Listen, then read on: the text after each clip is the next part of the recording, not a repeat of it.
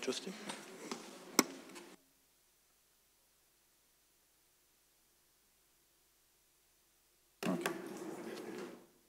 Good afternoon. okay, so this morning we arrived to this formula here. Okay, what is important about the derivation that we do, did today, I had several questions, so I want to stress it again, is that this derivation is completely non-perturbative.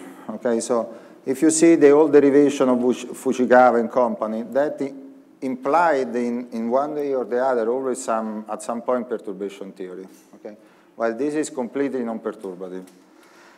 The second point, I had a question on this, is that I I derive this Ward identity for the second cumulant. It, when, you, when you have e to the minus f theta, okay, sorry, yeah, so one can define the cumulant of the topological charge distribution. They are proportional to trivial factor d to the 2n divided d theta to the n of f of theta, computed at theta equals 0. So the second one, the n equal 1, so the second derivative is q squared, and there is q to the fourth, and so on. And they are all, these are all the connected momentum of the topological charge of the distribution. And one can prove exactly with what we saw this morning is a little bit more complicated, but one can prove that all these cumulants are finite. Okay, so all the cumulants of the topological charge are finite. And so this means that that the f of theta, if you like, means that the free energy in QCD, the, the cosmological constant, so the quartic divergence in the free energy of QCD that you have is theta, the, the, the ultraviolet divergence there is theta independent, okay? So if you, today we define f theta as, in, with this formula here, so we normalize this is a ratio of two path integrals, one with theta different from 0, and the other with theta equals 0. And so now FFT, so since we have proved that all the cumulants are finite, then f theta is finite. It's finite because we normalize to z0 at z0. Okay, so the divergence, the cosmological constant divergence is normalized when you normalize like this. So if you want, in a, in a nutshell, this is the meaning of all this. Okay, so you can prove that the divergence at the non-perturbative level is theta independent. Okay, so now once this is done, then we can recover complete, we can, and this essentially was this assumption that Witt and Veneziano did in their papers, okay? And uh, so, so then once this is proven, then we can follow Witt and Veneziano in the derivation of their formula. So, in the, so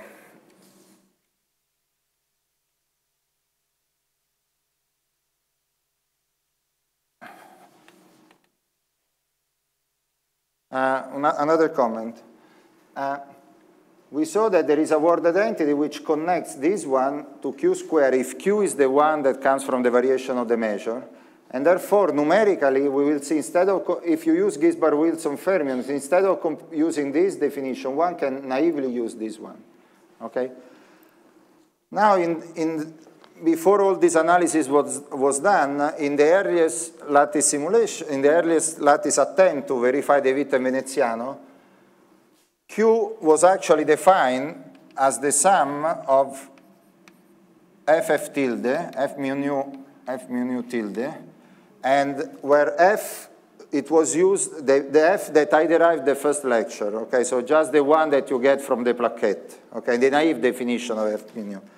Now, if you do that and you compute with this definition, this quantity here, since this one doesn't satisfy the, the Ward identity, you get immediately a quartic divergence. Okay, so this was the problem that for many, many years, essentially for 30 years, uh, did not allow lattice QCD to verify the Witt and Veneziano formula, okay? Because if you just take the naive definition, it doesn't satisfy the Ward identity, was not known at that time, but it doesn't satisfy the Ward identity, this implies that you have a quartic divergent immediately, okay?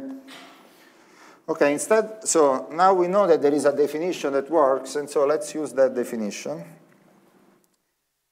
And now if you see, the, the, the, starting point of Witten in showing its formula is that chi computed at m equals 0 is equal to 0. And this you see either, you can see also from this Ward identity here, or it's, it's the singlet axial Ward identity which tell you that chi at m equals 0 is equal to 0, because the free energy is independent on theta, okay? And this is why this is equal to 0. But then he, he started his argument in the following way. So let's suppose that we expand in 1 over nc, so we have chi at m equal, now I will be always in the chiral limit. Chi at m equals 0. Then he say if we expand in 1 over nc, the first contribution will be the Yang and Mills contribution, because this is the leading term, the pure gluonic contribution. And then there will be a contribution, the first fermion contribution will be suppressed like an f over nc times, let's say, chi 1 plus other term. Okay? And then he was saying, now, of Yang and Mills there is no reason why this quantity should be zero. I mean, there is no symmetry reason and so, and so on. So this, in general, is expected, and we will see that it is, it's expected to be different from zero. So now Witten said, but how it's possible that I have a, a leading term which is different from zero, and then all the other terms here which are subleading in 1 over nc, but the sum of all the subleading term makes a contribution which is exactly opposite to the leading one and, is, and makes chi equal to zero, okay? So this was the original question. And so this means, of course, that th this naive argument of expanding in large NC in a naive way, it must be wrong, okay? And so if this is wrong, now we will see that by understanding why it's wrong, Witten derived the formula, okay? So to start with, uh, I use, now I can use continuum notation because this quantity now is renormalized, is finite, so I can use continuum notation. And so let's define now something else. Is the topological susceptibility, but sorry, is the two-point function of the topological charge, but not, not at zero momenta, with a generic momenta. So the topological susceptibility is chi with p equals zero, okay? Now, for this quantity here, we can use uh, the Källén-Lehmann representation. So we go back to the Minkowski. So this will be the, the, the vacuum expectation value of, of the product of these two fields. So it will be the T product, okay, of these two fields. And then I can I insert here between the two fields, I can insert the identity as a, as a sum of all the intermediate states. And in general, if you do that, you get, you will get, okay, an expression that is here you will get something that rho of t divided t plus p square times dt. Uh, this, is, this is called the Källén-Lehmann. You should have seen this. Okay, now, now this quantity here, chi, is, is a quantity which is dimension 4, okay? And what we have proved is that chi of 0 is finite, but the second derivative is symmetric under, under parity, so you can, uh, it will be, you know, even in P, what we have shown is that of 0 is finite, but all the other uh, uh, powers in P, we didn't show that. It's actually, in general, these are, are infinite. Sorry? D for X, absolutely. Uh, okay, usually when you have something which, which can be divergent when P goes to 0, you do here, instead of writing the Källén-Lehmann like this, you, you, you, write what is called a, a subtracted dispersion relation. So it's rho t, you can do t plus p square, sorry. So you can take t plus p square, and then you subtract, the, for instance, the first subtraction, you subtract its value at t equals 0. Now you insert this in the integral, and, and you do this three times. And what you get if you do that, you get here c0 lambda to the fourth plus C1 lambda square p square plus C2 lambda to the uh, p to the fourth plus p square cube. Okay? And here, now, okay, I want to do, sorry, I want to write, and here what you get here is, since it's three times subtracted, is t cube. Okay? So try to do it three times this, and you will see that every time you get a, a, term here t. In this case, you see you get t minus t minus p squared, okay? So this you get p squared minus p squared divided t plus p squared times t.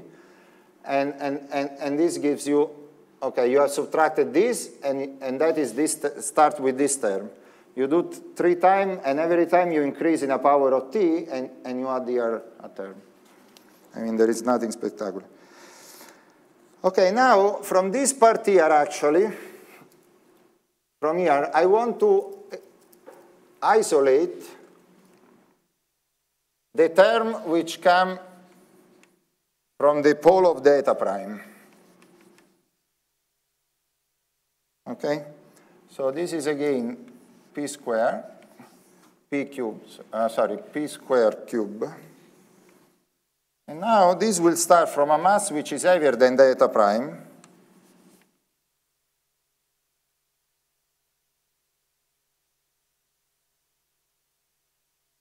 Okay, so what I have isolated here is the lightest particles with the quantum number of chi, which I call eta prime. Okay? And we know, and we know from the Ward identity that we saw before that in the limit of large n, this mass has to go to zero because eta prime becomes a Goldstone boson. Okay?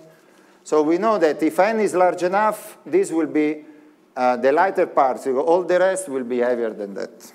Okay, and this will be quite light. So now the first step to derive the Witten-Veneziano formula is to look at this formula. So let's take the limit where p squared goes to 0 of chi of p. Okay? And then you see that here what, what remains is C0 lambda to the fourth. And then this goes away, this goes away, minus r squared divided m eta prime square. And this goes away. Okay? And this we know that in the chiral limit has to be equal to 0. Now, what is R? R, you can, just to put the right numbers. So you, you can show that this is trivial to show from the Ward identity. That this, the, what is R here is the modulo square of this matrix element here. If you use, and, and this matrix element, the modulo of it is, uh, is F eta prime m eta prime square divided square root of 2nf. Okay, I will not derive this, but this is trivial. Okay? So now if you put, so R is, more, and R is modulo square, it's the square of it. So it's f eta prime square, m eta prime square, square divide to the fourth divided 2nf okay? It is just the square of this number. So now if you put in it, in it the formula, then you see, then you see that, that f eta prime square, m eta prime square, because now you have a, a, a m eta prime to the 4 divided m the square down, divided 2 n f is equal to c0 lambda to the fourth. So the, the, the term which is the topological susceptibility here, this term here. Okay? okay, so now the question is how this term is done. But then we can, we can here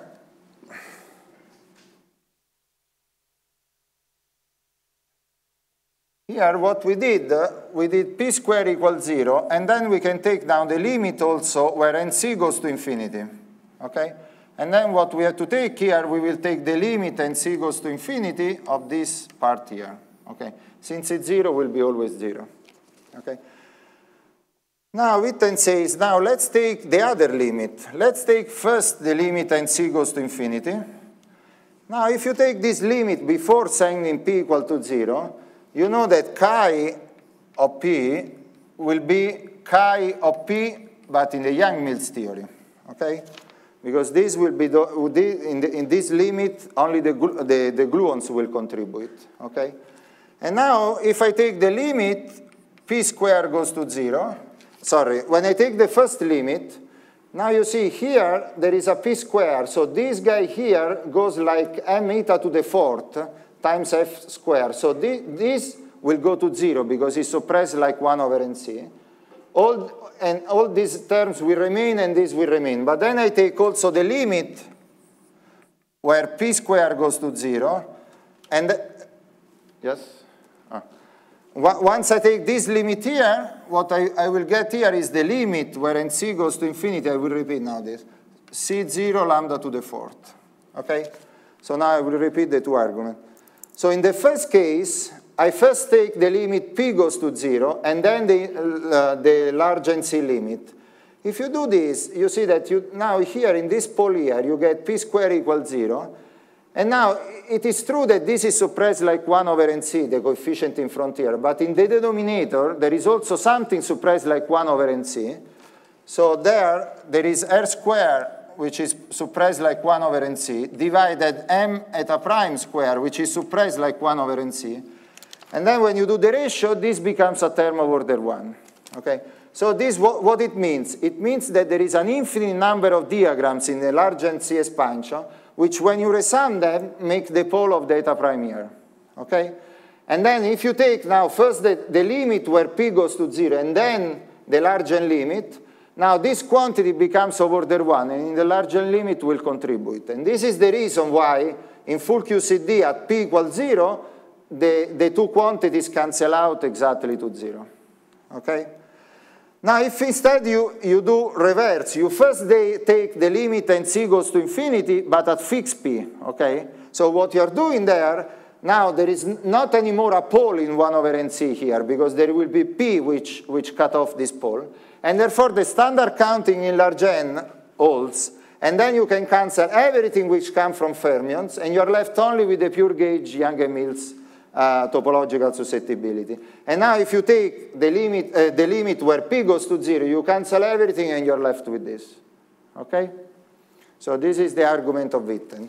And so this means that now you can take this formula, but then you can write here that the limit where nc goes to infinity of f eta prime square m eta prime square divided 2nf is equal to the limit where NC goes to infinity of the topological susceptibility at zero momenta for, in the Yang-Mills theory. Okay? And now this means that m eta prime square you can rewrite as 2nf divided f eta prime square times chi Yang-Mills. This is suppressed like 1 over c, so plus 1 over nc square terms. Okay? Now you can prove that in the large n limit, f eta prime is equal to f pi, and then you can replace here f pi. Okay? So this is the formula of Witten and Veneziano. So now you see that what, what they say is that this guy, remember that this guy here, f pi square, f pi goes like square root of nc, so f pi square goes like nc, so this guy is suppressed like an f over nc, like you expect. So in the large n limit, this term will go to zero. This becomes a Goldstone boson, and then the eta prime is a Goldstone boson like the pions. So this term here is the leading contribution coming from the anomaly to the mass of eta prime. Okay? And so now the, to know what is this, this contribution, we, we have to compute this quantity uh, non-perturbatively. Okay? Now here there is a detail. I show you that this quantity is finite with that definition in the full theory, you know, with the fermions, with the Ward identities, and so on. Now that formula can be extended with some quite technical details down to an f equals zero, okay? Introducing some, what is called some pseudo-fermions. And, and therefore, if you use the Ginsparg-Wilson definition of chi, even in Yang and Mills, this quantity will be finite, okay? Okay, so now we can switch on the computer. And so if you remember, I say that lattice has three components. One is the field theory. So you see, we spend one hour or two hours on the field theory part. And now we have to find an algorithm to compute this guy here, and then we have to do the computation. Okay?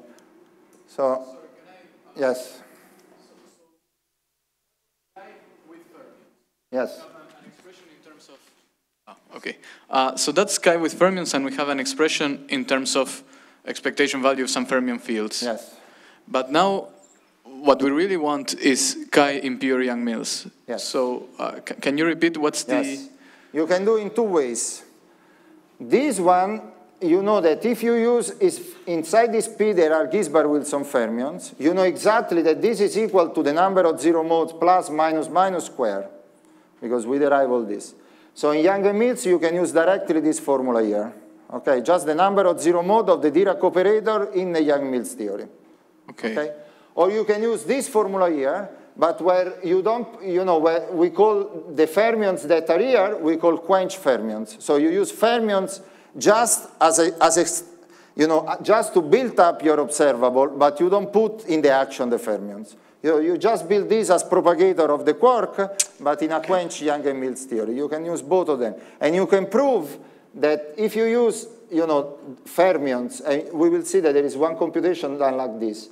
If you use this formula here with quench fermions, then you can go through all this argumentation we did, and the, and the chi is universal and finite. Okay? Okay. So you can use, we will see there are two computations, one with this and one with this. Okay. Okay. Thank you.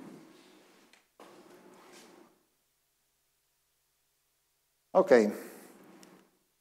So now, the, the, main, the first computation was done with the easy formula. And now here, here, to compute this formula, what was the challenge at, at that time? The challenge is that you have to compute the zero modes of, of a matrix, which has a dimension that in the best case, which is one Fermi, one Fermi is pretty small, okay?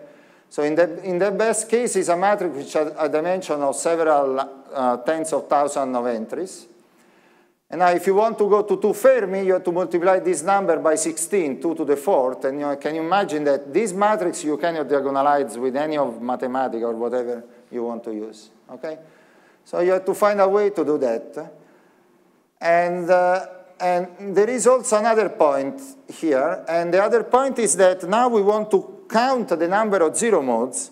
And whatever approximation you use numerically to, to say this is a zero mode will have an error. You know, it, it will tell you this is a mode which is 10 to the minus 9 with an error of 10 to the minus 9. But this, you are not guaranteed that uh, that is a zero mode. Could be a very small mode there. Okay, and then you would do a mistake there. So, so this is the main difficulty there. The second main difficulty is that the topological charge, if you see the distribution, so the Fourier transform of f of theta, this is the distribution of the topological charge, is a Gaussian. And a Gaussian, you can, and, and the width of the Gaussian is exactly what you want to compute. Okay? Now, given a Gaussian up to small volume effects, you can compute the error that you make when you when, that you make on sigma square of the Gaussian, and you will see that if you want an error of 5%, let's say, you need a thousand of, of replicas or configuration. This is quite a lot. So this means that you have to be very efficient in, in computing the index of this operator. So this was the difficulty. And this, you can, this is, a, a very, I think, a very simple and nice example on how you can, uh, you know, how, we, how you, you have, to, you know, is an example on how we develop algorithm to compute what we want, uh, knowing what are the properties of, of, the physics behind what we are computing. In fact, in this case, you take the Ginsparg-Wilson operator and you define two operators. You define an operator with chirality plus and an operator with chirality minus with the standard chiral projectors. Okay? And now, if you use the spectrum properties of the, of the, of the operator that we showed before, you can prove that these two operators have real eigenvalues, and, and the non-zero eigenvalues of these guys they are all the same. They are, you know, the, the complex eigenvalues that we obtained before, now they, are this, they correspond to these two eigenvalues here. Okay, so the two, the two sectors have, have eigenvalues that they correspond each other. Now, in finite volume, there is always either one n plus different from zero or n minus different from zero, okay? So let's suppose that now you have n plus different from zero. So what happens? It happens that, that there will be some zero modes only in this sector here for d plus and not for d minus. So what you do now, you take a Ritz functional, what you study even in quantum mechanics. So you minimize the square of the operator and you find what is the direction where this, uh, the Ritz functional is minimum. And then if you do that in parallel in these two sectors, you will see that in this sector, at some point, the minimization program will stop. Because there is a, the last one is a non-zero, there is a gap with the origin. And now with the Ritz function, you can compute not only the gap, but you can compute also the error, deterministic error that you make on the gap, okay? And so what you do now, you know this level here with its error, and then you start the minimization here. You go down, down, down, down, and then the, you count the number of modes that are lower than this value minus the error that you make. You just count the number of them, and then this will be the zero modes, okay? And these modes, and in this way, you make zero, zero error, okay? Because the, you know from the theory that, that the spectrum has to be symmetric in this way, okay? And this is the way how n plus and n minus have been computed in, in the computation that I will show you. So this is, now this is the computation of chi. You, we, we like to use some reference scale on the lattice. And in this case was used R naught. R naught is, is just a scale. It's 0.5 Fermi, the physical units, okay? In such a way that these quantities are dimensionless and we can take the continuum limit. So this, you see that this, the computation was done. This is the lattice spacing. This quantity is pure gauge, so it goes with the square of the lattice spacing, the discretization effect. And this is the topological susceptibility in units over naught. And this, we took two different Ginsparg-Wilson regularization, two values of S, the S that I was showing before. One is 0.4 and the other is 0. And you see that discretization effects are different in the two cases, but they converge to the same number here. Okay? Now, if you take this number and you put in physical units what is the values of over naught, you get the chi that you get is 185, the fourth root, plus or minus 0.005. And now if you compute the mass of eta prime from this guy using that formula there, you get a number which is around 900 MeV, okay? And actually, what is better uh, to be compared is, is actually if you subtract the quark mass dependence in, in, F, in I meta prime, and you can use by using this uh, symmetric formula here, and then you get, this formula should be compared with this number, and you see that you get a number which is 180 Jeff to the fourth, okay? So you see that the, the computation really showed that Witten and Veneziano were right. Okay, so the leading QCD non-anomalous contribution explain the large value of the mass of eta prime. Okay? Now this computation has been done last year also in the large n limit. So it has been done with n equal 4, uh, 3, 4, 3 was this, 4, 5, and 6. And extrapolate to n goes to infinity, and you get essentially the same number. I mean, so the large n behavior, the, the 1 over n square correction in pure gauge, they are very, very small. Now, now by, now there are many computations. This computation has been done with this formula here, with Wilson fermions. Okay, so this yellow here. While the green one, that is the most precise now, has been done with, a, with again another definition. It's called the Wilson flow definition. We have no time to see it. But the Wilson flow definition satisfies the Ward identities in the continuum limit as the others.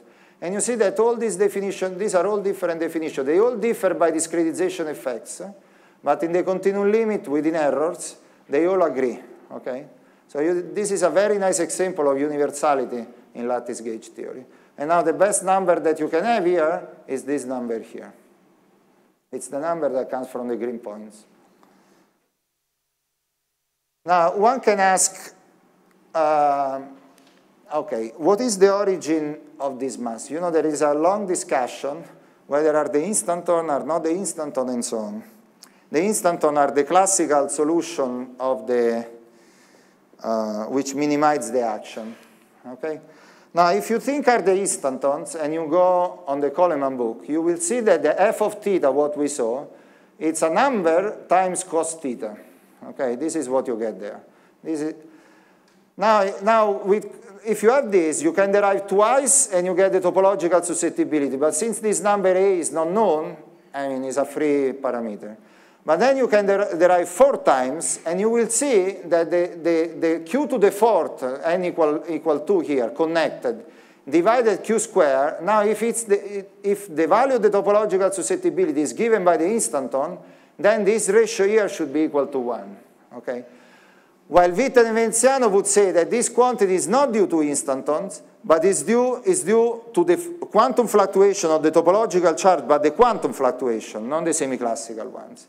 And in fact, Witten Veneziano would tell you that this quantity here would be 1 over nc, now n equal 2, so 1 over nc squared. So it would be of the order of, of, of a tenth or so, okay? Now you can compute this ratio. Now this is a dimensional ratio on the lattice, and this is the number that you get. In the continuum limit. Again, this is with Ginsparg-Wilson, this is with the new definition Wilson flow. And this is the instanton calculus, you see. While Witt Veneziano would say that it's proportional to this, but the prefactor is not known there, is, is not known there, okay? You see that you get a number which is around 0.2, okay? Which, which it's really many, many sigma wave by the instanton one, okay? So I mean, this dilute, dilute gas of instanton actually in pure Yang-Mills theory doesn't work at all, okay? It's very far away from the reality, okay? And actually the, the Witten-Veneziano formula is correct, and the mass to eta prime is really given by the quantum fluctuation of the topological charge, and not by the instanton or the semiclassical solutions. there are questions? okay, so we can pass now, let's see if I remember.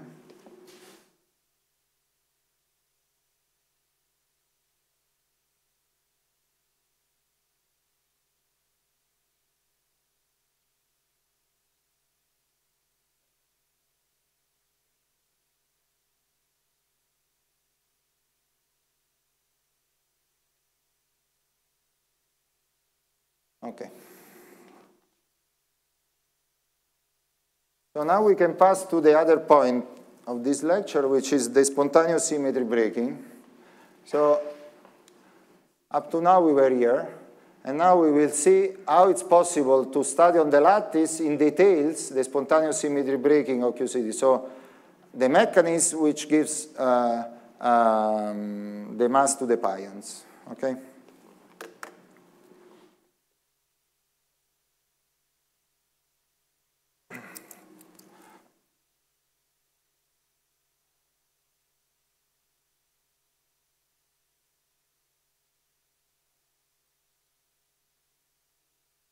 Okay, so we start from a Ward identity that the non-singlet Ward identity that we saw this morning, but not the integrated one. Okay, so you should have already seen the non-integrated one can be derived like the one we did this morning.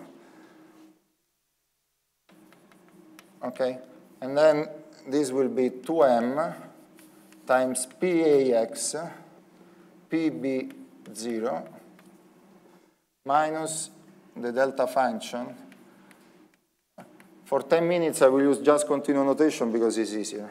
Divided nf times S0. You can think everything with Ginsparg-Wilson fermion is the same. Now you see this morning we have the integrated correlation function. You integrate here and then this goes away, okay? And, we and this was the identity of this morning. You integrate the delta function and you get the... okay, now let's take let's take first the case where m equal, equal to 0. So we, we study this Ward identity directly at m equals 0. And now, from the Ward identity, we know that in infinite volume, okay, let's suppose we are in infinite volume, could be also an infinite lattice. And then we know that this is delta 4 of x, uh, sorry, yes, delta 4 of x divided nf times the condensate, uh, times the scalar density.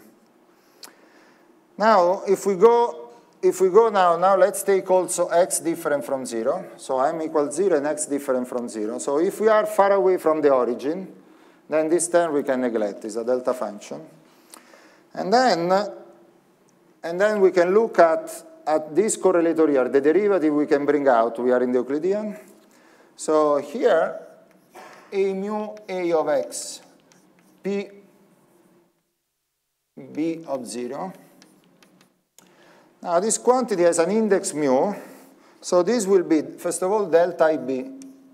This is just flavor that tells us this. And then there will be x mu, and then there will be a function of x squared. Okay? This is how it is, because we are, the only four vector we have to build up this index is x here. Okay? Now, now we, at x different from zero, we can impose this Ward identity. So this is the conservation of the axial current. So this is equal to zero. But then this means, then this means that the mu of, of what? Of x mu f of x square, This has to be equal to 0, okay? And now if you do that, you will realize that f of x squared can be k divided x squared to the, four, uh, to the second power, okay? Just resolve this differential equation and you will see that this is the solution you can get. So this means uh, that here we can replace this number here This here we can replace by kappa, uh, by kappa by x mu divided x squared to the square. Okay? So, and this is at x different from 0. Okay, so now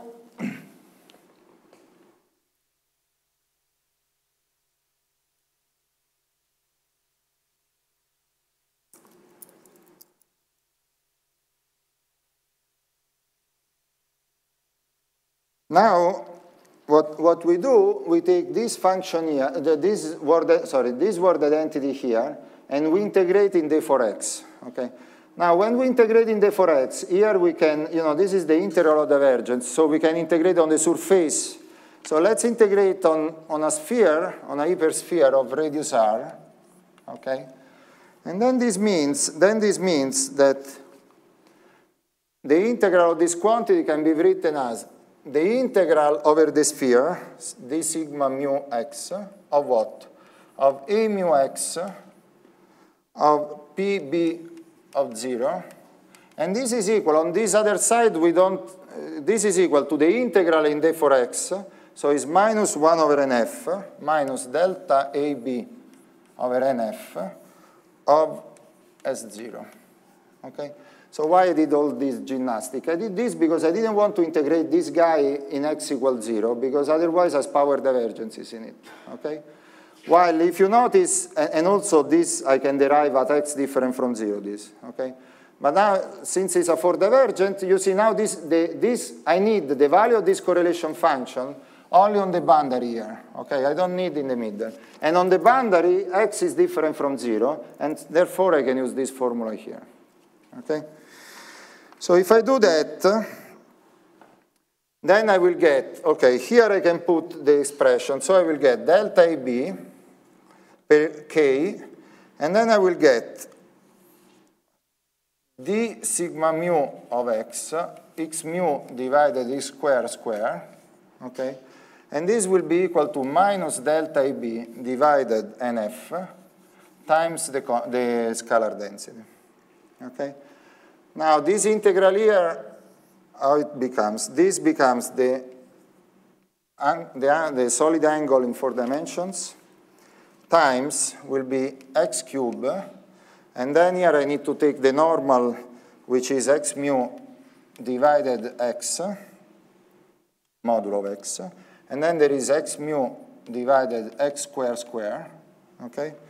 And so this has to, uh, delta AB, k, and this has to be equal minus delta AB divided NF as 0. Okay? Now, if I didn't do mistake, the omega 4 is 2 pi square. Okay? And here you have x to the 4 fifth, x to the 3, and x square, so this all goes away. Okay?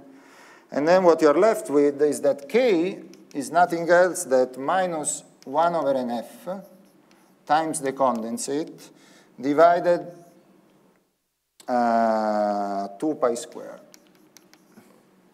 Okay, from here. So now I take this value of, of k,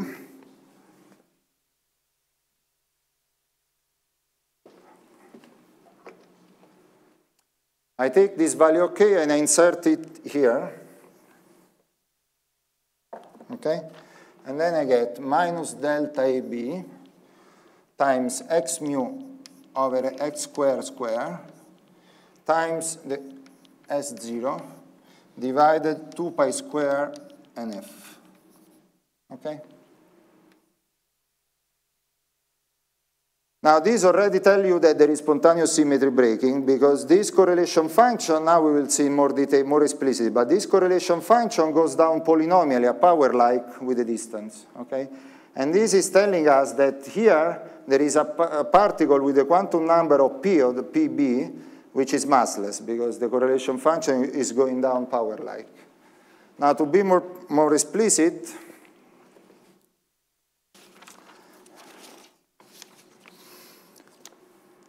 we can compute, uh, what we usually do is we compute A0AX times PB of 0. So we take that one and we integrate over D3X and we take mu equals 0, okay? So this is nothing else than D3X of A0AX and PB0, okay? Now what you have to do here is the integral uh, in d3x of this formula here. Okay, I will give you the result, but the, you know, at the end the integral boils down in, in computing an integral of this form, d x of 1 over x vector square plus x0 square. So this is a, a trivial integral, okay? In particular, this is pi square over x naught, okay? If you put everything together, then at the end you get that A0, A, X0 times PB0, so the zero momentum insertion of the time component of the axial current, it's minus delta AB divided eh, 2NF times S naught. So you see that in the massless case, the insertion of the time component at zero moment of the axial current is a constant, if is a constant different from zero, if the, con if the condensate is different from zero. Okay? But now we know, now we see in a minute, that this quantity we expect to be suppressed like e to the minus m pi, the distance between these two guys, but instead is a constant. So this means that m pi is equal to zero. Okay? So this can be seen very, very easily.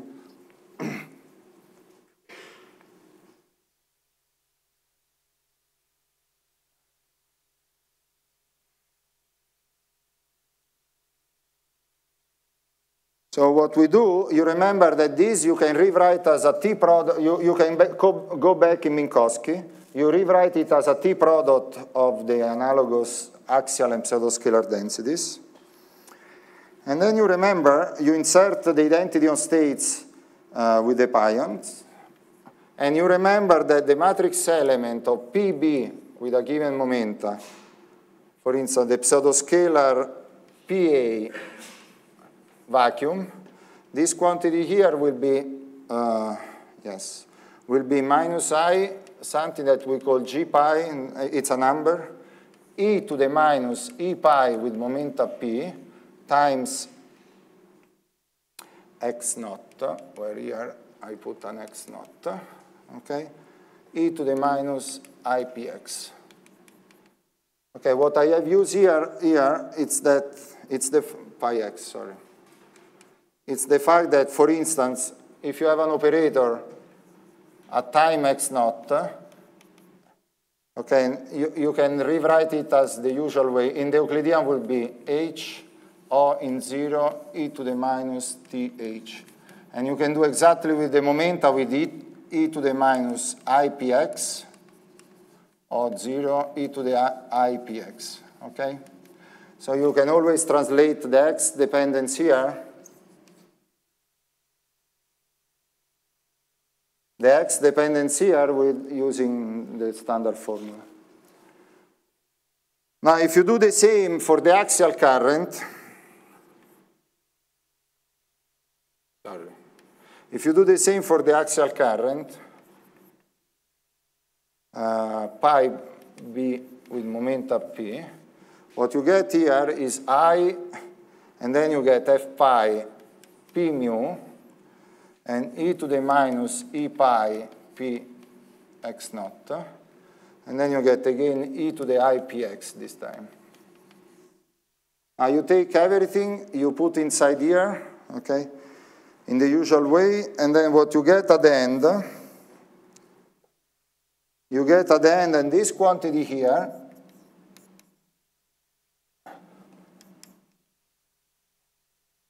should go like when x naught goes to infinity because I inserted only the pions here, not the eigenstates.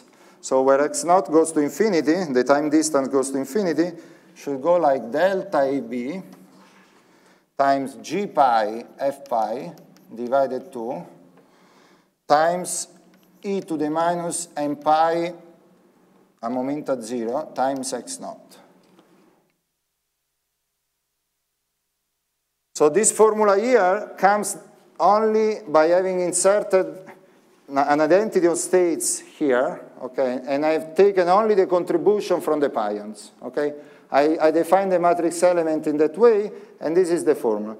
So you see, if the pion has a mass different from zero, like we saw the, the correlation function for the nucleon, when x naught goes to infinity, so the time distance between these two guys gets larger and larger, then you are dominated by, by the particle with the smallest mass, and, and therefore the, the correlator goes like e to the minus n pi times x naught. Okay? But now the Ward identity tells us that this correlator is constant. It doesn't go in that way. Okay? So the only solution to this is that n pi is equal to 0. Okay? So the fact that here it's constant, or if you like, the fact that here goes down polynomially in this way means that the pions are massless. Okay? So the pions are massless, so if you have spontaneous symmetry breaking, so if S0 is, equal to 0, the pi... Okay, this is something delicate. Uh, it, could happen and this is equal to 0, so there are no pions there and that's it. Okay, but this is different from 0. So this means that this pion, uh, n pi is equal to 0, while the product of these two quantity has to be equal to the condensate, okay, to S0. Anyway, a long story short, at the end, in the chiral limit, we can write, we can write the result that g pi, so those f pi, is equal to minus the expectation value of the scalar density divided nf, all at m equals 0. Okay?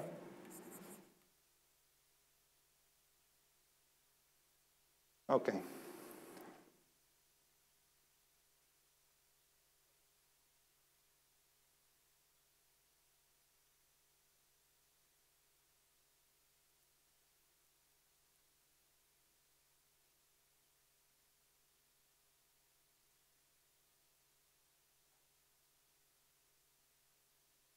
Okay, now we take the, the same Ward identity, but this time with mass different from zero, and I have integrated over d 3x.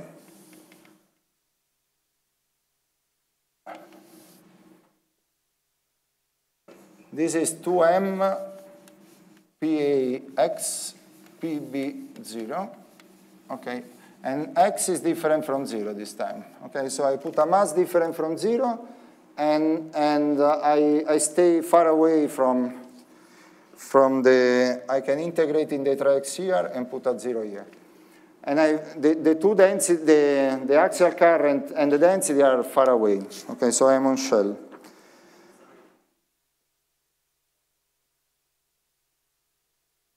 Sorry? Did you name it Goldberger relation? No, it's not the Berger, no, no. Huh? Ah, the Goldberger relation. No, no, this is just, no, there is no name to this. Uh, you have to wait for the, sorry. The down, the, yes, this is. Yes? This is not the Goldberger relation. No. No. no. The GMOR relation, now you will see, yeah, but, okay. Okay, now you insert the identity of states here like we did there, but with a mass different from zero. Okay, and what you get is the derivative of, and only the pion contribution, because we, we will go at large distance. And here you get delta AB of g pi f pi divided by 2, e to the minus m pi x naught. And this has to be equal to 2m minus g pi square divided 2m pi times e to the minus m pi x naught delta AB. Okay? I had done nothing. I had taken this and inserted that states inside this relation here. Okay? And now you can derive with respect to time this quantity, simplify the, uh, what you can simplify. Then at the end, what you get from this relation is that m pi square f pi is equal to m g pi. Okay? 2m g pi, sorry. Plus, okay, there are, this is in the limit where x naught goes to infinity, okay? So in that limit, this is the relation that you can get. And now, now we can put, so we can now from this, we can say, so m pi square, the f pi square divided to m, and we write it as g pi f pi. This is um, at mass different from zero. And now we can take the limit where m goes to zero here, and the limit where m goes to zero here.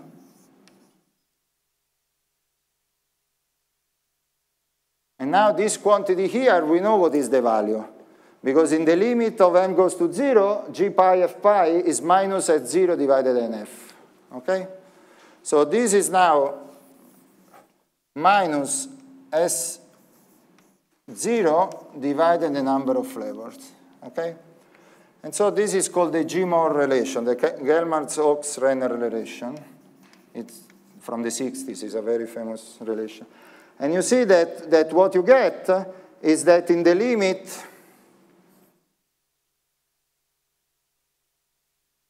In the chiral limit, the slope of m pi square, f pi square, so the slope with respect to m, or if you like, this divided to m, must be equal to minus scalar density divided by n f. We call this usually the chiral condensate, okay? So in the, in the chiral limit, we saw this morning that the chiral condensate is well defined, okay? And so the, the GMOR relation tell you, tell, this is really a distinctive signature of spontaneous symmetry breaking that the slope of this quantity, or if you like, this ratio in the chiral limit has to be equal to, to the condensate. Now, if you're able to compute, all these things are non-perturbable. This is zero in perturbation theory, and this is zero in perturbation, so everything is zero in perturbation theory. So now, if you want to check spontaneous symmetry breaking from first principle, you have to compute the, the mass of the pion, the decay constant of the pion, so the matrix element of the axial current, and then you have to compute the condensate, and then you have to check this relation okay? And now we will see this, how this has been done.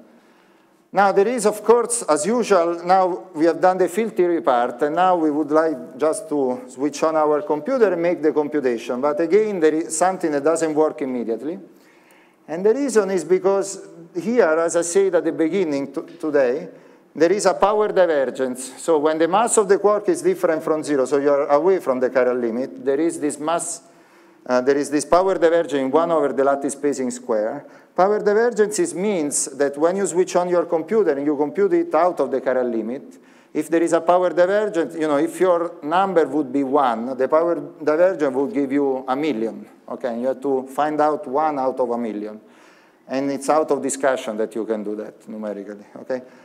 So the problem here, what is? The problem is that we want to compute the chiral condensate non-perturbatively. So this means that we have to do on the lattice, but then means that if we want to do numerically, we have to do infinite volume, because this is what we can do with a computer. But if you want to do infinite volume, you have to switch on the mass, because otherwise the condensate is zero infinite volume, okay? So you have to switch on the mass, but if you have to switch on the mass, this is divergent, and therefore you go back, okay? And you are, and you are stuck, okay?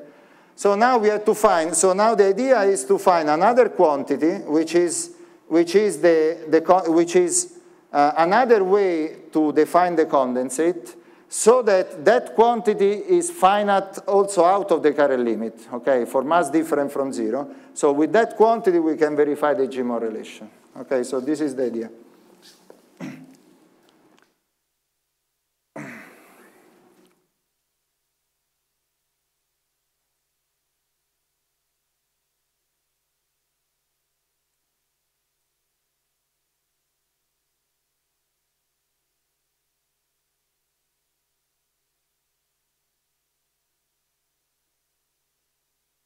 And the quantity, the relation is, is called the Banks-Casher relation. Again, 79, eh? this is all.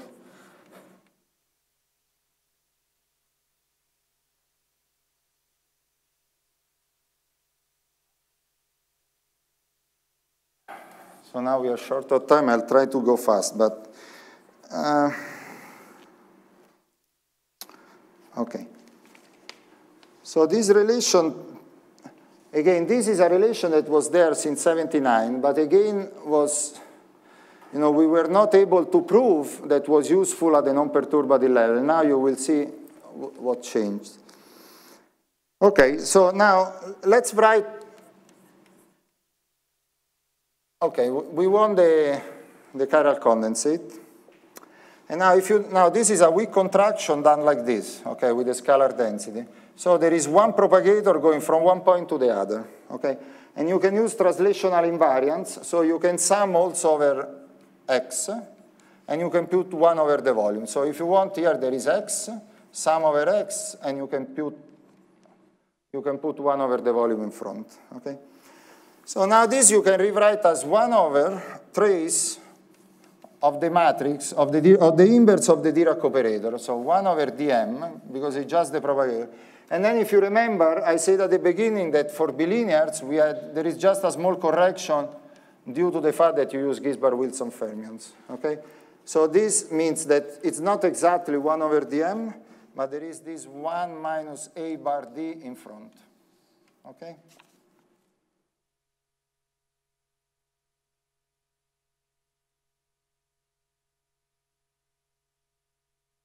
Now, you do a, a, bit of algebra using the, the, the properties of D of M. There is nothing more than algebra.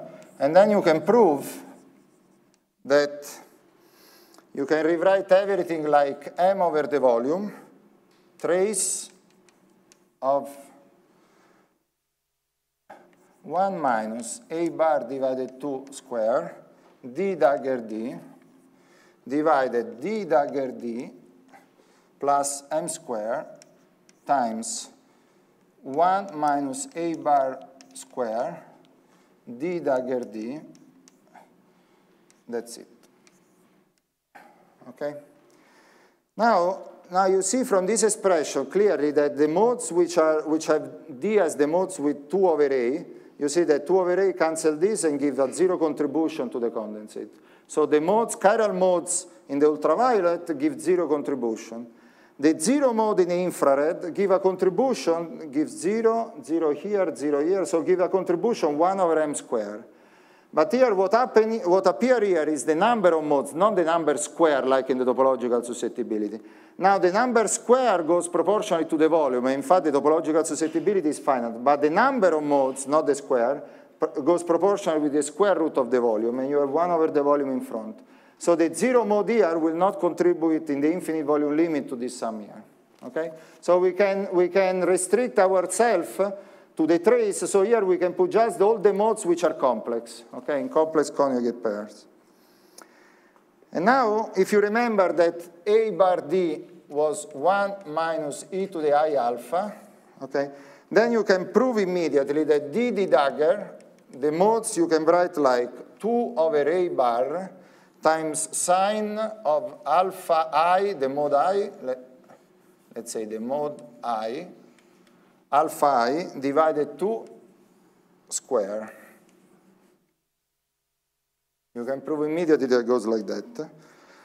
And then you can define now lambda i, and this is why I used the bar before, lambda i you can define as 2 over a times the sine of alpha divided by 2 divided the cosine. You understand now immediately why I do this, okay? And now you see that lambda i now goes from minus infinity to plus infinity. I mean, if, if alpha i goes in the circle. Now, if you do that, then this is very easily simplified, and you see that this you get is NF divided volume if we sum over all space. This quantity here, it's M over V times the sum over all the eigenvalues of 1 over lambda i square plus m square. Okay?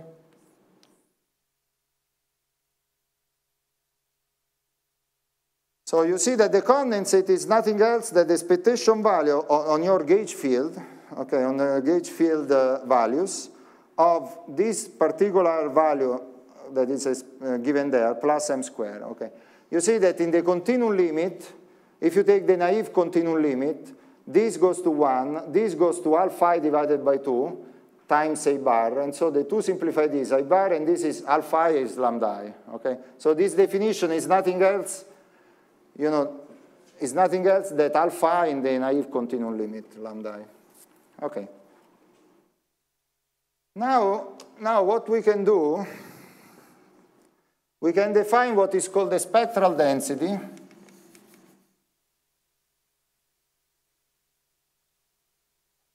of D, of the Dirac operator.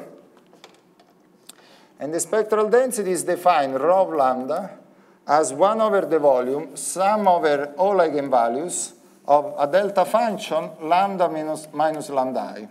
Okay? So this is telling you how many eigenvalues per unit volume there are which have values which are lambda and between lambda i and lambda i plus delta lambda plus d lambda i, okay, around lambda i. So if you do that, then the chiral condensate divided in f, this quantity here, it's nothing else than 2m times 0 to infinity of rho lambda divided lambda square plus m square times d lambda. Okay? Okay, if you sum over x here, there is the volume. Okay, otherwise it's like this. And I sum here from 0 to infinity and not from minus infinity to infinity, and I put a, a factor 2 because rho lambda is symmetric with respect to the chain. Okay, now, now we can do the following. We make another change of variable there. We define x is equal to lambda over m, okay, which are the two-dimensional full quantities there. And then now you can write minus the condensate divided in f. And then this you can write like 2 integral from 0 to infinity of 1 over x squared plus 1 of rho of mx times dx. Okay? I've done nothing that changed the variables. Okay, now we want to take the limit time goes to infinity. Now this is a bit subtle because the limit is outside the integral, we want to pass in the integral, okay? But, uh, okay, I'll show you that there is no problem in the limit in passing in the integral. And the way you prove it, it's that minus the condensate divided in f. Then you can write it as 2 integral from 0 to some cutoff lambda that you decide to be as big as you like, but finite rho of mx times dx plus the limit where m goes to, uh, sorry, plus the integral from lambda to infinity of 1 over x squared plus 1 of rho of mx in the x. Now lambda is as big as you like, and now if you want to, but finite, now if you want to take the limit m goes to 0, here you take the limit, the limit can pass inside, because this is now is finite, and then you can replace here with zero, okay? And now here, now you remember, now here you are left with the limit, m goes to infinity. But now lambda can be as big as you like, and take lambda very large. If lambda is very large, you can use perturbation theory to compute this rho, and in perturbation theory tells you that this goes like m cubed, like x cubed, okay? And therefore, now, if lambda is very large, you can put m cubed outside here, and then you can take the limit. Since there is m cubed, this goes away. Okay? And now here you can replace with infinity. So this is to show that the limit where m goes to 0 of minus the condensate divided in f, what we call the condensate, is nothing else that rho of 0 times the times 2 times the integral of 1 over x squared plus 1. This is the arctangent of x, which is pi over 2. And so this is pi of rho 0. So this formula was derived by Banks-Casher. So in the limit where m goes to 0, uh, the chiral condensate is equal to the value of the spectral density at the origin times a trivial factor. Okay? Okay. So, so so now what it means this, let's see if I have here.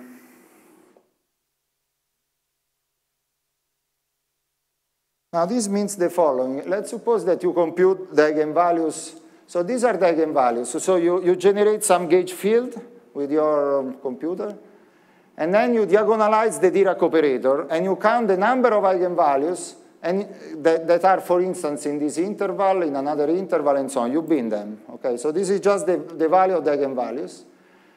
And what, what Banks-Casher tell us is that if there is spontaneous symmetry breaking, then when you take the limit where lambda goes to zero, there is a gap in the spectral density with respect to the origin. Okay?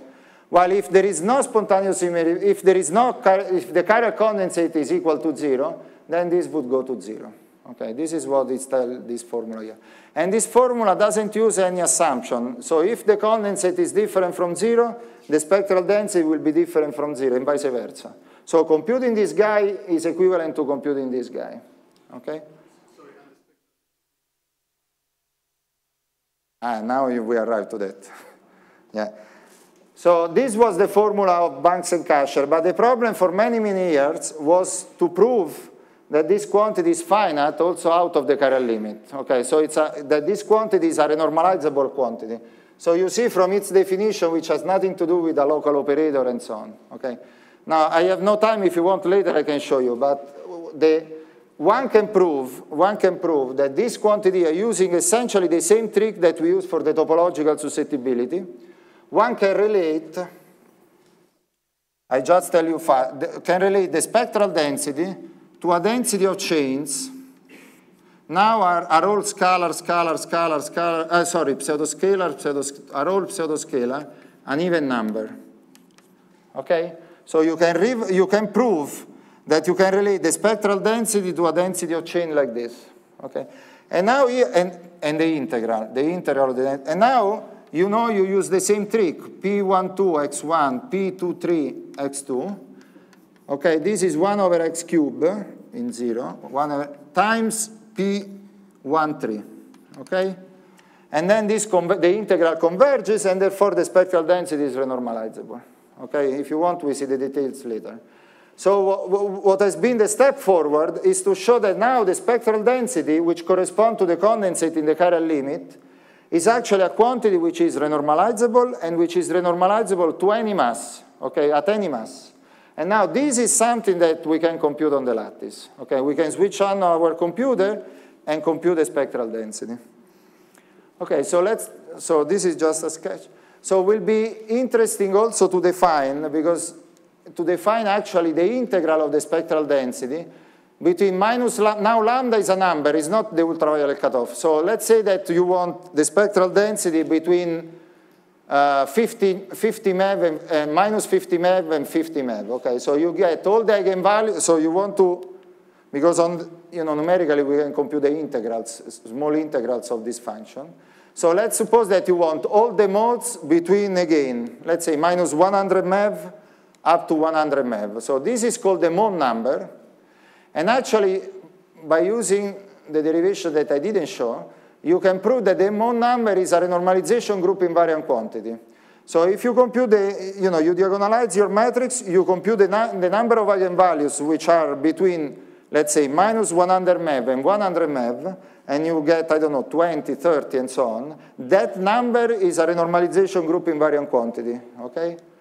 And uh, which, in the limit where m goes to zero, goes to a trivial factor time the, the, this is a trivial factor because you decide yourself. And this is the chiral condensate. Okay? So now you switch on the computer, and this is, this is the plot. Forget about this, it's, it's similar. But this is as a function of lambda. You see the cutoff, the, the extreme of integration is 20 MeV, 40 MeV, 60 MeV. And then you see immediately, and this is a fixed lattice spacing, a fixed quark mass, and you see immediately that the, that the data goes linearly uh, as you expect. So one, one, as soon as you switch on your computer, you immediately see spontaneous symmetry breaking in the, in the spectral density, immediately. Okay? But then there are small discretization effect of the order of, let's say, 10%, and most of the work goes in keeping under control these quantities. So you do a continual, so you define you define something which we call the effective spectral, so it's, it's essentially the spectral density times pi, okay? You take the continuum limit, we can forget about it, and then you go to the continuum, and then you see that, that you get still at a quark mass which is different from zero, but in the continuum limit you get a spectral density which is different from zero. And now you want to go to the chiral limit, okay, forget about this. You go to the chiral limit, you see that the points go a little bit down, and this is the value that you get, okay? So it's clear that the this you can compare with that spectral density, and so you see immediately that the spectral density after taking the continuum limit and the chiral limit, it is different from zero by many, many sigmas, okay? And now if we remember, if we remember correctly, you know, we have now computed this part here, okay? And now the signature to a spontaneous symmetry breaking, we have to compute this other part here and take the chiral limit. So what you do, you compute m pi and f pi, and you make the product m pi, m pi square normalized to 4 pi f square, okay? And this is the quark mass again. And you see that these are the, the extrapolated to the continuum limit. This is the, uh, the data that you get from, from numerical simulation. And this is the ratio divided by the two quark mass. So you see that goes straight linearly as you expect, okay? So if you divide by m, it's a flat function, okay? There is no f pi squared because in the normalization goes away. And now you ask yourself, but this slope here has to do something with this. And then you, what you do, here you build up, you use this formula here to build up the blue lines. So the blue lines are not a fit of the red points, but what you take is the, this value of the condensate, you multiply that value of the condensate by the mass of the quark, you divide by f pi square, and normalize properly, okay? And then this is the value that you get. And you see that you reproduce the the, the direct computation of the pion mass with a very, very high precision. Okay? And, and you see that the linearity of the point actually, arrive, if you see this data, it arrives within this precision of a few percent. It arrives to roughly 500 MeV. Okay? So this is telling you an important information that the GMOR relation, so the low modes of the Dirac operator, generates the mass of the pion up to quark masses that are much larger than the, than the light quark masses that we have in nature. So for the mass of the pion, really the 140 MeV is generated by 95% is generated by the chiral condensate. Okay, that is the origin of, exactly as the GMOR relation was showing. Okay, so this we can skip. So I think as a summary, I would say that I try to design this lecture to study the spontaneous symmetry breaking and anomalous symmetry breaking in QCD. And now the lattice arrive at at a conceptual level and at, at an algorithmic level at the point that we can really check from first principle both mechanisms, the Witten-Veneziano one and the spontaneous symmetry breaking, with a precision of few percent, which is significant, which is the relevant one, okay? And it must be said also that that uh, most of the um, uh, a lot of the progress is also due to the fact that our computer power is increasing uh, by a factor two every 18 months, the law. Okay, so this is so in the last 10 years, thanks to the, all the algorithms that were designed, all the conceptual progress, and the computer time, I mean, we could really check explicitly uh, spontaneous symmetry breaking and anomalous one in QCD. Thanks.